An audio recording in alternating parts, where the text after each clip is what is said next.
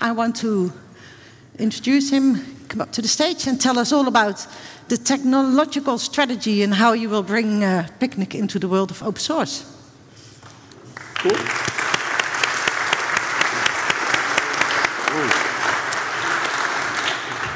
Thanks a lot for the introduction. You're welcome. Right. Let's see if we can get the uh, starting screen uh, live. Good morning, everybody. It's quite exciting to be uh, at a little bit more technical crowd. I'm giving a, more often a talk about Picnic and uh, kind of the Picnic startup story. But uh, usually there is a little bit more the kind of the business crowd. So I'm pretty excited to uh, talk to you about more the technical side of the business. So maybe before I go into the subject matter, can I see a show of hands? Who of you guys actually has heard about Picnic? Yes, that looks good. Uh, keep your hands up, keep your hands up. Uh, who actually has downloaded the app? Okay, a few. Uh, who has actually tried it? Who has placed an order? Who is super happy? Excellent. we'll see how we, uh, how we handle this. Great. Okay, good. Um, my name is Daniel, CTO of Picnic, and we have a very simple mission. What we want to do is to make grocery shopping, especially online grocery shopping, simple, fun, and affordable. Sounds simple? It's not. So the way as we started is with a very simple question. The very simple question is, why is actually nobody shopping for food online while everybody is shopping for non-food items like electronics, like books, like fashion online? So everybody of us is buying books. Usually 50, 60% of the retail for books is online. For electronics, it's even more. For fashion, it's 30%. But if you look to, uh, if you look to, um, if you look to food, then just 1 or 2% of a pretty big market is online. So everybody, when we thought about this, everybody was saying, well, this is not an interesting market. Why do you look into this? Because there's just a very small part online. But from 1 or 2% online, what we saw is an opportunity to move 98% of the market into the online world. But the question that we asked is why is nobody shopping online? And we identified three main reasons. First one is it has been pretty expensive. And expensive means you had to pay for delivery fees, you had higher prices online, you had all kind of hidden costs. Nobody likes this. Have we seen this earlier? We have in fashion, we have seen the same trend until 2005. You had to pay for delivery, you had to pay for the return. Nobody was doing fashion online. Then Zalando and Zappos and other companies came and said, well, we just make it for free. We just improve our business, we improve our logistics, and then we actually deliver for free. And that broke up the entire fashion industry. And we thought, well, we can do something similar also for food. But there's more. And the second one is nobody wants to wait. If you order something, if you order books or if you order uh, electronics, then it's okay if somebody tells you, well, we deliver in the morning or in the afternoon. But if you order for food, it's not good enough if somebody tells you, we deliver between uh, 4 and 8. Because maybe you can use the food for dinner or not. So this is just not good enough. And the third reason is shopping has been pretty cumbersome. And cumbersome means in the way as the kind of the shopping interfaces have been designed is in a way as you do shopping for two or three items, what you do for electronics and for books. You buy an iPad and an iPad charger, or you buy a, a few trousers and then you just return, you buy five trousers, you return four and you take one. But if you buy food, you buy actually 30 products, 40 products. That's a complete different ballgame.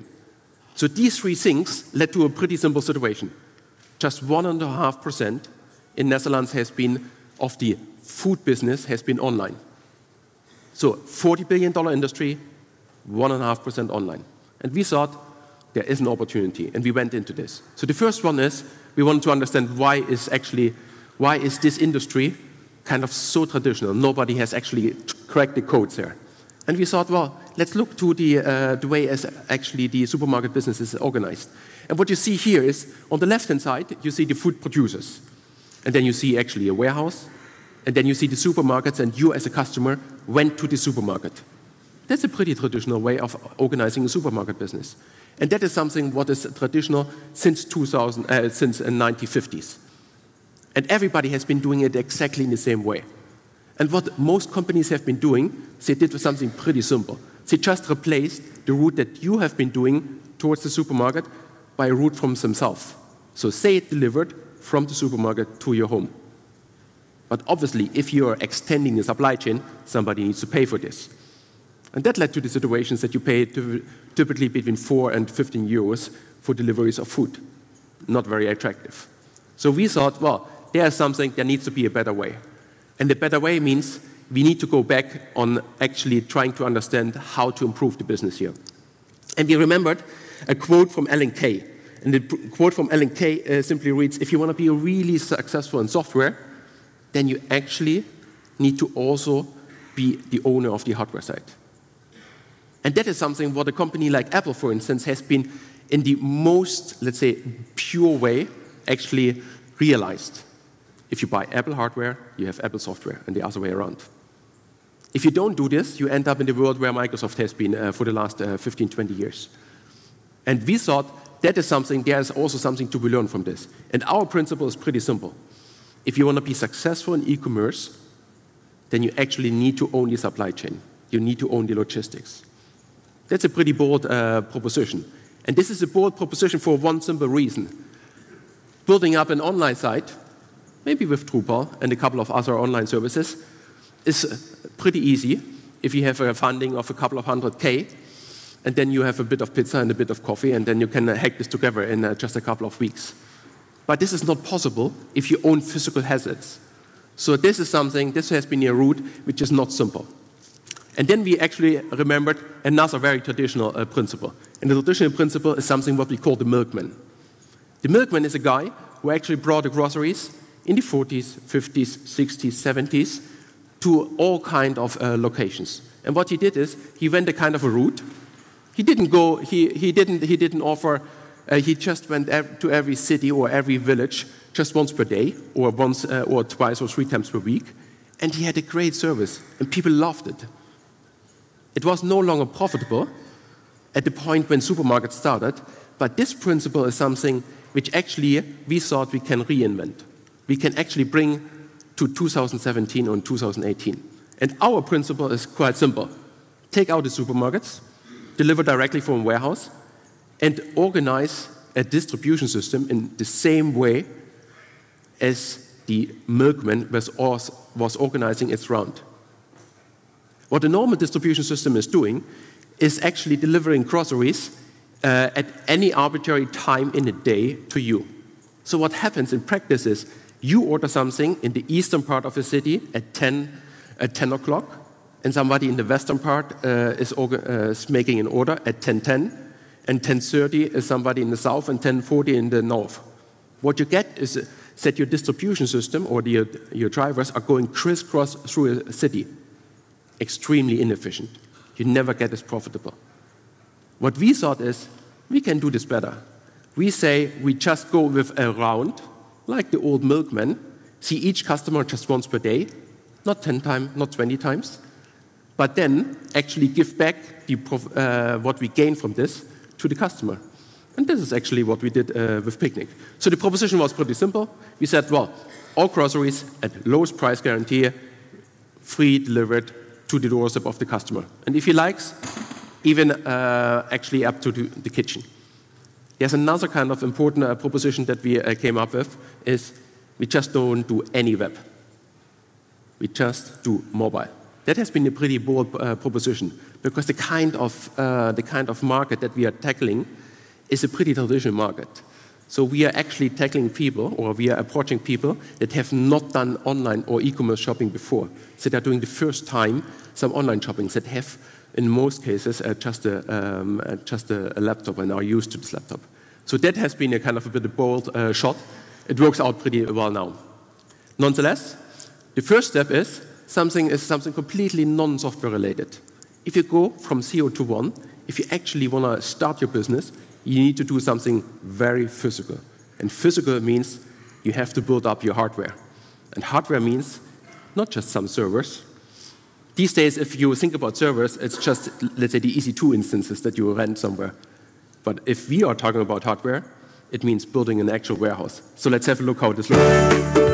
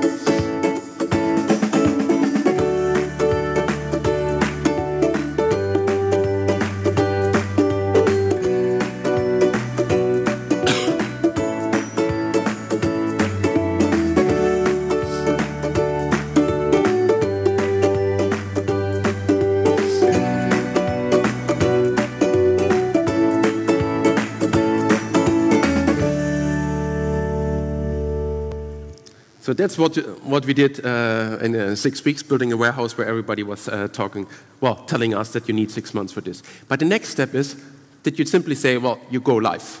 And going live means just announcing that you do something. And doing something means we just made a small press release that, well, in the small city of Amersfoort, we will offer our service. And then the following thing happened. People just liked the service. People just downloaded the service. In the first day, we had, um, oh, by the way here. Um, um, we just had a couple of people that have been seriously interested, up to the point that we have subscriptions from the islands, where we are, by the way, not uh, for now. Not sure if we ever will be there. But anyway, um, the really interesting part is what we saw there, there is not only an opportunity, there is actual demand. And if you have demand, then actually you just you have a business. And now I will talk a bit on how we build it up. But before I do this, let me show you how a consumer actually perceives the service, and then we go into details.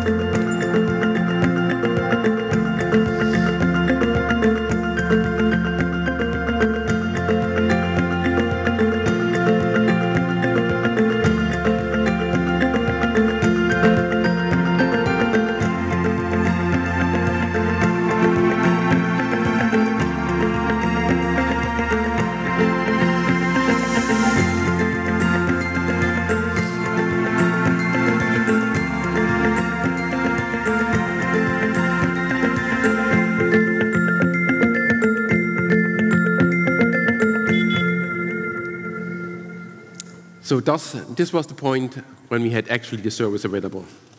In Amersfoort, where we had four cars and 100,000 people interested. That led to the situation uh, that we heard earlier, that we actually needed to organize a little bit the way as people are entering the service. Because if you have 100,000 orders for a day, and you have just four cars, then you have a serious challenge. So let's see a bit uh, which kind of real technical challenges uh, we were tackling uh, on the way. The real technical challenges are something where I go one step back. And one step back means if you think about a supermarket, you wouldn't think about very much that there's a lot of tech involved.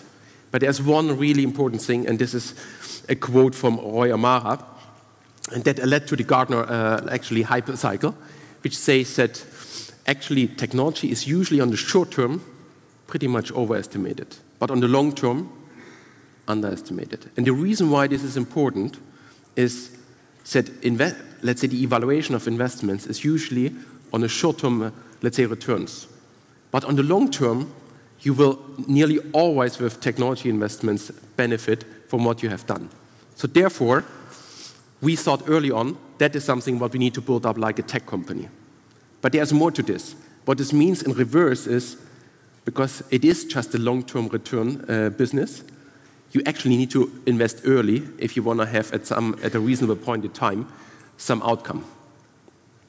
So first challenge that we actually tackled is something what we call the so-called grocery challenge uh, or the shopping challenge um, problem. And what we want to do is nobody likes actually shopping for groceries. You like to buy a tenderloin steak, but nobody loves to shop for their toothpaste or for their uh, pampers or for their uh, toilet paper. So what we want to do is actually make it as simple as possible for customers to shop for those kind of, let's say, regular repetitive items.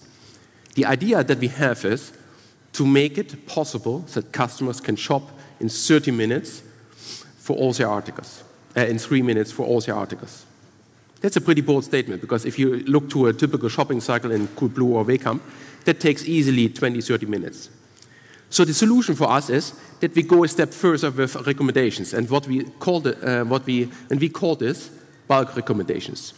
If you go to a site like Amazon, then typically you see one by one a kind of products recommended. And this is not good enough if you want to actually shop for 20, 30, 40 articles, because then you still need to actually go to the 30 or 40 recommended articles. What we are looking for is for recommendation of an entire set of items. And those kind of items should cover kind of the more repetitive and more kind of boring items. But such a feature you can only expose if you have actually 80 or 90% uh, precision in, uh, for your customers. Because otherwise, you show too often items that customers don't like. And if for a small device, is a big problem. Because obviously, uh, you have a very small uh, real estate. So what are the challenges there? Well, the challenges, the challenges are actually that the precision that you need for such a recommender system needs to be much, much higher. If you have a precision of a single item of 90% likelihood, then for 12 items in total, it is less than 30%. So if you get, go in reverse, then you actually need to have a recommender system which is an order of magnitude more accurate to make a likelihood of 90% uh, for your products. So that has been a, a, pretty serious challenge. And then you have the typical kind of causaries challenges that you have seasonality effects and other kind of effects that you need to take into account. Let me show you a bit of how this looks like. I don't have too many formulas, but this is a kind of a funny formula that I wanted to show you with you guys. So uh, recommendation means simply, well, what is the likelihood that the next time you buy some milk, based on your shopping history. And shopping history means, well, four days ago you have bought some uh, Nutella, seven days ago you have bought some Tony's Chocolonely, and nine days ago you have bought some um, Olives. And what you do then is actually you build a kind of a hackathon. I think everybody of you guys has been probably in a hackathon. What, um, what do you like to do? You play with, play with new technologies. And what we wanted to do is, well, just build a neural network, a kind of a deep learning network, like uh, most of you have maybe experimented a bit with it. Our one looks like this. Looks a bit scary, but in the end, uh, it's pretty simple to understand. So what you have on the left-hand side, well, you put in the shopping history of customer. So what did you buy a week or two weeks ago? How many bananas, uh, uh, red wine, and some Nutellas? And then you look on the right-hand side, what, uh, what is he actually most likely to buy as a next, uh, next product? That's not your heart. But the real insight and the real problem with this approach is that it's not good. It's simply not good enough. So the likelihood is 50%. So that means if you take this kind of recommendation for half of your customers, you show wrong products. The reason for this is pretty simple. You need the amount of data that you need for a deep learning network to really work properly is you need to work on the scale of Amazon or let's say a very large retailer. For us, as a kind of a, in the beginning, as a kind of a logo retailer, where we are in a couple of dozen cities with just around 100,000 customers, was not good enough. So what we thought is, well, we need to go back. So what you can do is there is you can, of course, build a kind of a training, uh, let's say training uh, sample set, etc. But we went a slightly different route. And we went a route which is, I think, something which everybody of you has done also sometimes, but uh, it needs a little bit of guts. And that means don't take the latest technology, but go a step back and use something which has worked already 50 years back. And what we did is we used a model which is called RFM. This is recency frequency monetary. This is a model how in a supermarket people have since 50 years actually built recommendations and uh, kind of advertisement of products. And the model is super simple, so let me just talk you through how this works. What you do is you take per customer, what has he bought for the last uh, 10 times? Number one, pretty simple. Next one, what are the top items? What did he buy uh, most often? Next one, well, you rank it by frequency, you filter out the stuff that he, uh, is currently not available due to seasonality, and then you just display this. Super simple. You can explain it to your uh, four year old daughter. Everybody understands it. The really interesting part is this works absolutely like a charm. And what we then did is, and this is the really interesting part, is we combined this old model with the deep learning model, and we got to a pretty interesting uh, insight. And this is something what I want to share with you. So what you see here is now uh, is the number of orders, and uh, you see the likelihood um, that actually recommendations are proper. And what you see is if you don't have enough orders, the likelihood is not, not too good. And the reason for this is this is a so-called big data problem. A lot of customers have this kind of short shopping history, but actually the shopping history is too short. If you buy just a few, a few times with, uh, with a retailer, then you don't know enough about a customer. So you will not be very good in recommending. The other problem is on the right-hand side.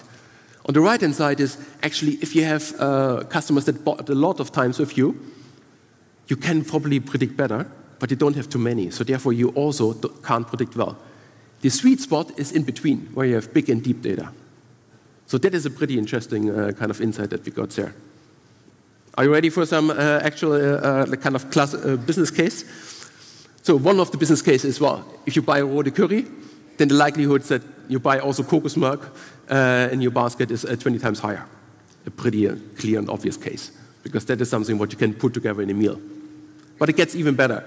If you say, well, if you buy some bio cleaner, the likelihood that you buy also bio bananas is actually 10 times higher. So there's a kind of a basic preference that you see across the kind of the products that uh, customers are buying. And the third one is if you buy Pampers, so that means, uh, let's say in, in, your family situation, you're caring about also the next generation, etc., then you also buy kind of milk, milk from uh, bio cows, uh, cows and, uh, well, kind of uh, sustainable, sustainable products. This is pretty obvious if you see it now and if you hear the explanation.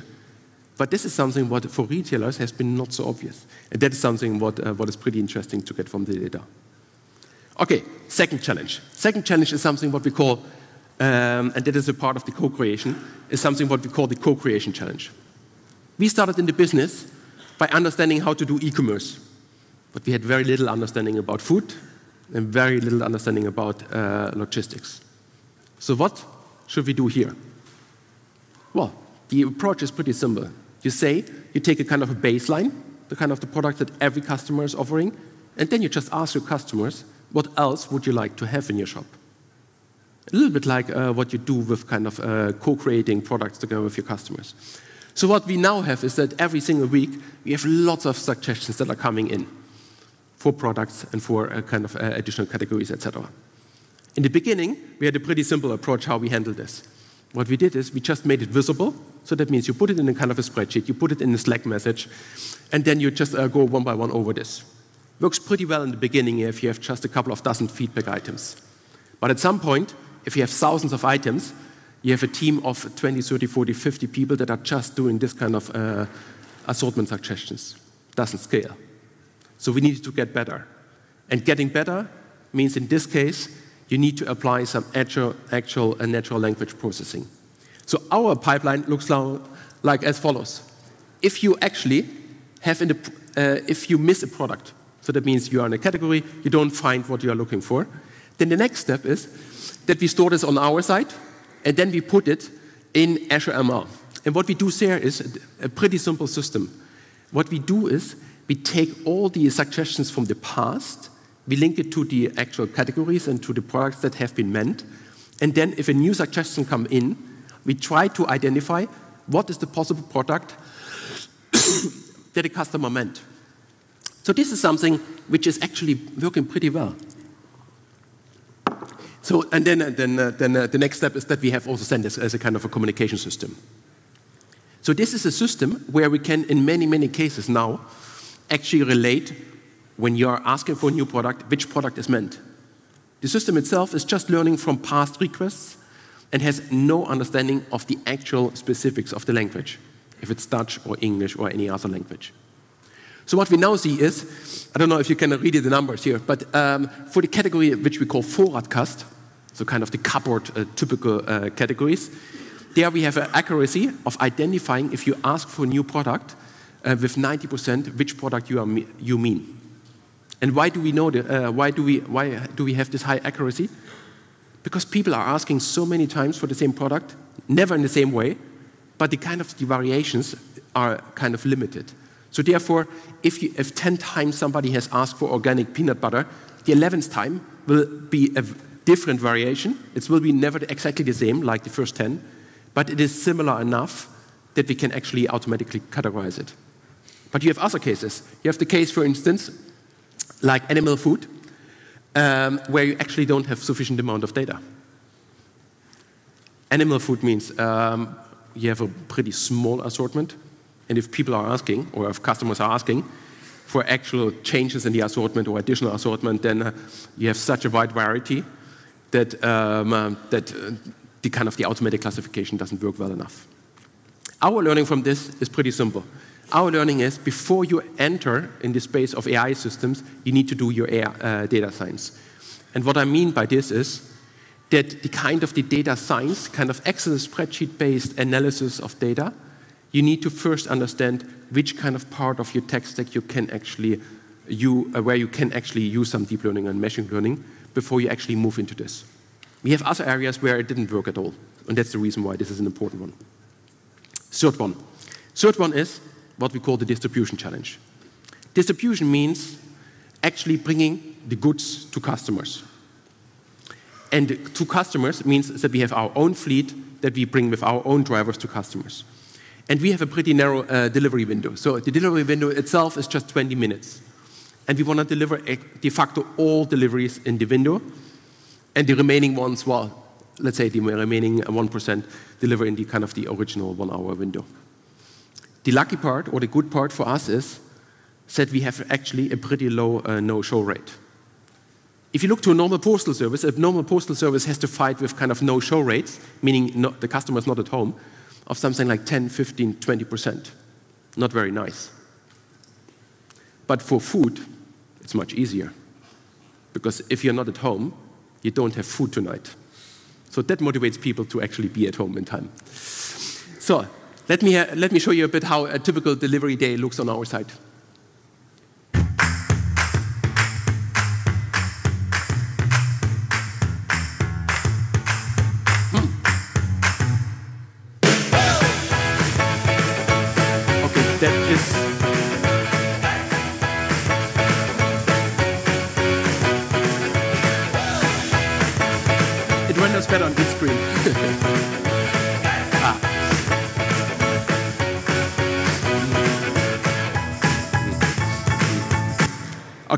Doesn't render so well uh, on, on the big screen. So what you see here is, is, that actually we are going in three shifts in the kind of different parts of the city.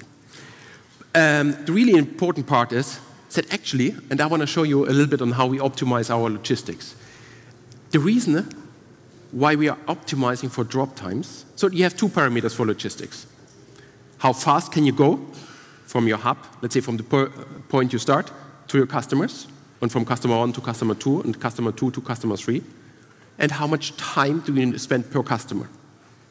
What everybody is optimizing in logistics is that you can go very fast to the first customer, that you can go very fast from the first to the second customer. But this is only an optimization eh? because nobody has sufficient density. In our case, because we are bringing kind of, uh, because we are in the food business and we are doing grocery deliveries, for us, the point is a completely different game. For us, it doesn't matter how fast you are from customer one to customer two and customer two to customer three, because it's anyway just a, a couple of dozen meters. So you can do this easily in just uh, 20, 30 seconds. The important part is how much time do you spend for a customer. And at a customer, what you need to do is you need to find a parking spot, you need to actually unload the vehicle, you need to find the door of the customer, you need to uh, ring the bell. The customer needs to go there. You need to give him the products. You take the Statiegeld and uh, empty bottles and whatever back, and then you need to go back uh, to your car. Takes much longer than actually going to the next customer, which is anyway just uh, two, uh, two uh, houses further. So therefore, the really interesting part, what we are doing, which is completely different to the remaining or the rest of the logistics world, is we optimize for drop times. And drop times means for us we want to understand how long does it take for a customer to deliver to a customer. So first one is we have area constant, which means how easy is it to find actually a parking spot at the customer. But there's more. The next one is, um, is it a first-time customer? And a first-time customer means the customer has typically some questions. He has typically uh, maybe something that he wants to get explained in the app, or that is something what he wants to actually ask the, the runner, or that he wants to actually, uh, let's say, provide as feedback. So therefore, we just have a constant where we say, for a first-time delivery, we take a little bit of more time. But there's more. The next one is, well, of course, the number of products that you deliver. So this is something which we call the ambient products. and the chilled products. So these are kind of a frozen pizza or kind of a banana or kind of a fruit, etc., in kind of different temperature zones. But the real magic of such a system is in the last component. The last component is something what we call here T delta. And the T delta contains a lot of different factors that make logistics either smart or dumb. What it means for us is we need to understand what is the difference between a daytime and night delivery. At a daytime, it is roughly 23 seconds easier or faster to find a parking spot and to find a way to the customer. But there's more. If you actually, if you understand where's the location of the, uh, of the door, for instance, front door or back door, it takes an average 23 seconds uh, uh, more if you go to the back door of a customer. If you go to the second floor, it takes uh, roughly uh, 20 seconds longer. And many, many more factors. Funny fact, if you go to the third floor instead of second floor, no difference. Nobody knows exactly why, but it's just a matter of uh, this effect that we saw. So this kind of logistics optimization, this kind of logistics insight, you need to put in a kind of a model, you make regression, and every day you optimize the model. So from a customer, it looks like as follows. As a customer, you're selecting now, let's say a delivery for tomorrow. And what you see here on top, you see between 6.15 or 18.15 and 19.15, you get uh, your groceries delivered. It's a pretty simple uh, and a pretty straightforward way of organizing it. So next one is, well, we are now making in the night our planning, and then you see, well, at the next day, well, you see already between 18.15 and 19.10, so this is a 20-minute window uh, that I was talking about earlier. So this is a 20-minute window that we uh, deliver to the customers. But the real interesting part starts now. What we now do is, now we actually give a customer the notification. We are on our way. And why do we do this? Because we actually want to make this an experience together with our customers. This is a kind of a co-creation of the entire delivery experience. And co-creation means that you actually show to your customer where you are in real time. That looks like uh, as follows. So now we know in the app, we show to a customer that Marco is on its way. He's five minutes away. He just needs to take a, lot, a few more uh, turns until he is at the address of Bomberg 4. And when he's here, the customer will actually not even, not just knows that he's there, but usually many customers are opening the door, helping to unload the vehicle, and many more things. So you make it an experience together with your customers, not just for your customer. So this is something, this is a feature that actually half of the customers are always opening. So they just want to know when we are there. And that is something which, uh, which really helped us to, to optimize uh, further our, uh, our logistics. Last one is kind of last challenge. It comes from, from, uh, from our, um, our work on the interfaces. We thought, well, we can't do web because that is something which is very much 2010. So we started with mobile. However, we, went, we wanted to go a step further. And step further means what comes after web? Nobody knows exactly. People are talking about AR, VR, and many, many more things. But one thing what we know is that there is most likely a change in interfaces. And we experimented a bit with Alexa and with uh, Google Home, meaning that you have an interface where you don't need any longer to open the app to actually add a product to your basket. So the idea is whenever you run low on products, low on milk, low on uh, any kind of food, that you just say, stay in your kitchen, that you say, at the next delivery, I want to have this product. So let's have a, next, uh, let's have a look at how this looks in uh, practice with Alexa. Okay, I'm going to briefly show you what our prototype for the picnic skill does. And we're going to add some groceries to our basket. For example, Alexa, ask picnic to add banana. Okay, I have added banana to your picnic basket. And then we go check on our basket and the banana is there. We can also say, Alexa, ask picnic to add coffee. Have added coffee to your picnic basket. And it is also there. So we can ask, Alexa, ask picnic what's in my cart. Currently, your cart has two articles worth 9.38 euros. Okay, and then we also introduced some speechcons, which are the phrases that Alexa say more expressively. So, for example, Alexa, ask picnic to add broccoli. Yuck! I mean, I have added broccoli to your picnic basket. And then we can just add, ask more, one more time, Alexa, ask picnic what's in my cart. Currently, your cart has three articles worth 11.13 euros. Okay, uh, this is uh, the demo. Uh, we will submit this skill for certification later this year, so all of our customers can have it available.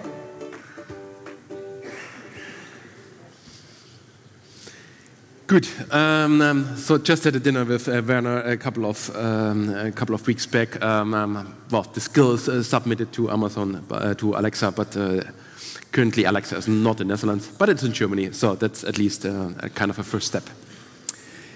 I promised you also to talk a little bit about the open source part, and I didn't do too much about this. I just talked about co-creation, how we have built together with customers our shop and our kind of delivery experience. But the real question that we asked at some, let's say, not too far, not too far back from now, is can we, can we really build the entire service on ourselves? The real question here is we have used quite a bit of open source. So we have used uh, stuff from Google, we have stuff from Netflix, we have used, uh, of course, uh, Lucene, etc. So therefore, the question is, if we actually use these kind of services, maybe it's also time to actually give back to the community. And we started something what we call Tech for Life as an initiative where we actually open source parts of our stack. We need to see a bit on how we organize this and how fast we can uh, open source this more and more. But the real idea is that the real, let's say, intellectual property, and that is something what you probably also see on, uh, in, in, your systems and uh, on, in your part, is usually more on the data side than on the actual code that you develop. So therefore, there's no need to stay kind of closed source for the code that you develop. You can easily open source this. So what we open source now are kind of four, four libraries, and it's just a kind of the beginning. So we started with something which is more on the DevOps side about ping probes. The next one was a kind of a small library for Android where you can easily uh, also mark kind of a product, uh, mark an area of a picture as a kind of a specific part, and then uh, have a kind of send this back to, uh, to, to Android. The way as we use this is if a customer sees a broken product, then he can make a picture and can simply mark the area where the broken product is. The first, uh, third part is uh, something what we call the API bot. So this is kind of a test library, how you can build integration tests. Uh, we didn't see a kind of a very good uh, solution for this now in the market.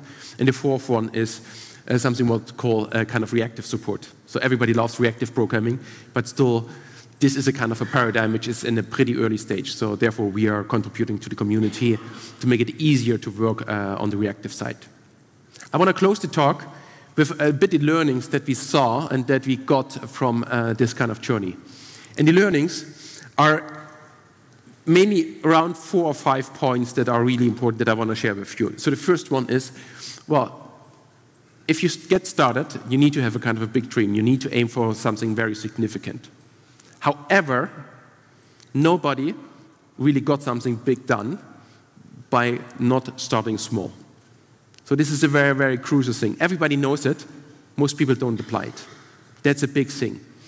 What we started off is we had to build a kind of a tech stack where our uh, technical partners uh, told us, well, you need at least a team of 50 people, but we had just five. So they told us, well, you need to build a warehouse, it takes six months, but we had just six weeks. So therefore, act small and try to get some uh, quickly done. Second one is, before you actually um, ask uh, for more data and for uh, more precise data, you need to have a mission that guides you in everything what you're doing. And the reason why this is important is you will never have enough data. Even Amazon is guided to a large extent by the mission that they have towards their customers. So mission plus data is the kind of the secret sauce. Third one is before you go into the kind of world of AI, make your data science homework. Fourth one is uh, doesn't matter exactly when you start, but you need to launch before you look uh, talk about uh, scaling. And doesn't matter if you launch a kind of a non-scalable solution, everybody has done this, but not launching is not the option. And that is the kind of the most important learning. And the fifth one, everybody claims or complains about not having enough developers. I would have loved more, and everybody would like to have more developers in their teams. But there is, in the restriction of having not enough resources, not enough developers, is also a big advantage because it makes you just more focused. And really successful products come from small teams. That brings me to the end of the talk. Thanks a lot for your attention.